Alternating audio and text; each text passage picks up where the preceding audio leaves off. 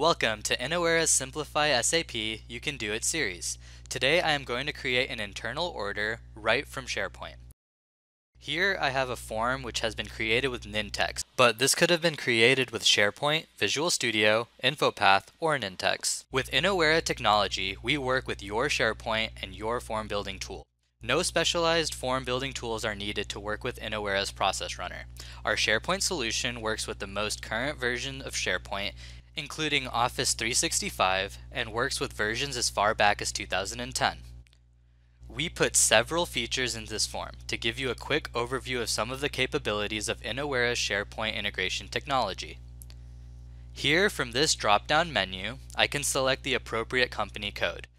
This drop-down is populated with data from a SQL database. Process Runner Database, a powerful data management tool from Innowera, runs on an automated schedule, populating the SQL database with data from SAP every two hours. This could also be set to run daily, weekly, monthly, or at whatever frequency is desired. When I click refresh on this business area dropdown, a process runner data extraction script is executed, pulling values from a table of SAP. I am able to do a live query from SAP, making sure I have the latest data from SAP to populate this form. This plant field dropdown is populated by a SharePoint list.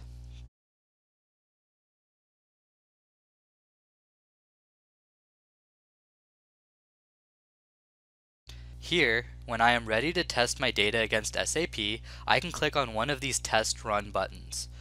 For the purpose of this demo, you will notice that I can select from running a test run with a web service or a web API.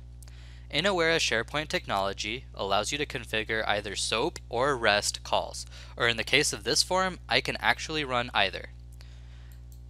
Once I have tested my data against SAP, I am now ready to create the internal order, and now just need to press one of these Send to SAP buttons. Innowera Technology quickly took over and executed a KO01 transaction automation script right from my SharePoint form, and the internal order is created in SAP. Now let's take a look at that order in SAP.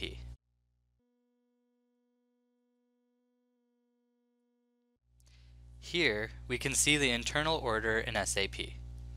Thanks for watching, and if you would like to learn more about Innowera's SharePoint integration technology, please visit our website at innowera.com.